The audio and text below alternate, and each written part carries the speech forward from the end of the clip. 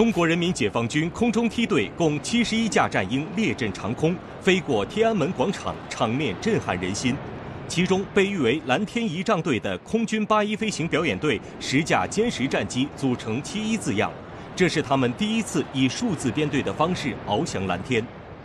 表演队全体人员都是积极踊跃报名，生怕配不上了。说个实话，能在建党一百周年参加这个庆典活动。我们是倍感自豪和骄傲的。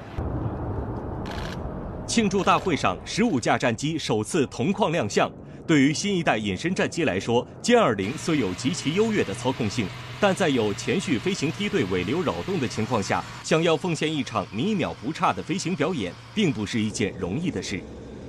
然后人与人之间的磨合、协同，做到一个整体，整个在空中统一步调一致。其实这需要大家更多的默契、更多的训练，然后也还有相互的信任。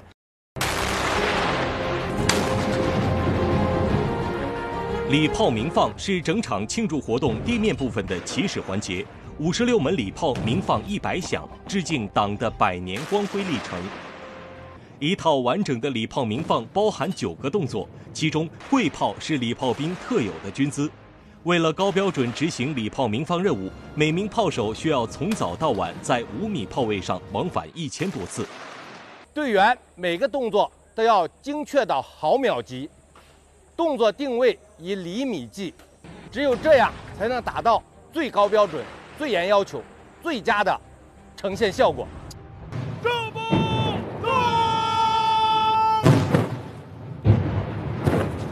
从人民英雄纪念碑到国旗杆距离二百二十米，二百二十二名仪仗队员组成的国旗护卫队，分别以齐步、正步、齐步各一百步的方式完成，步步铿锵有力，以此向党的百年华诞献礼。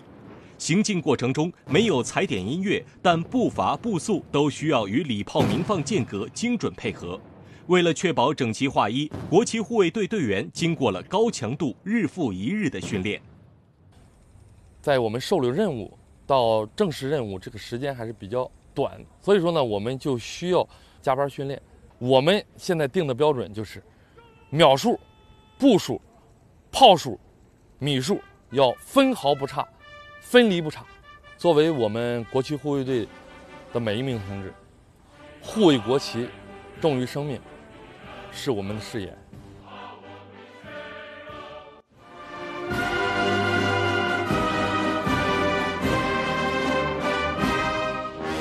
大会上，从耳熟能详的“唱支山歌给党听，没有共产党就没有新中国”，到沉稳有力的“钢铁洪流，领航中国”，一首首激荡人心的乐曲，都是由中国人民解放军联合军乐团演奏的；一朝一夕的精益求精，只为天安门前的完美演绎；一朝一夕的废寝忘食，只为在神圣时刻献上华美乐章。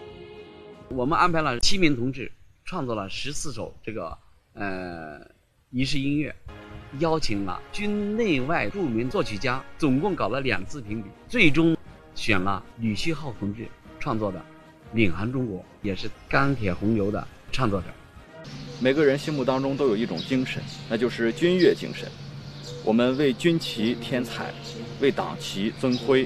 没有共产党就没有新中国。衷心祝愿我的祖国繁荣富强。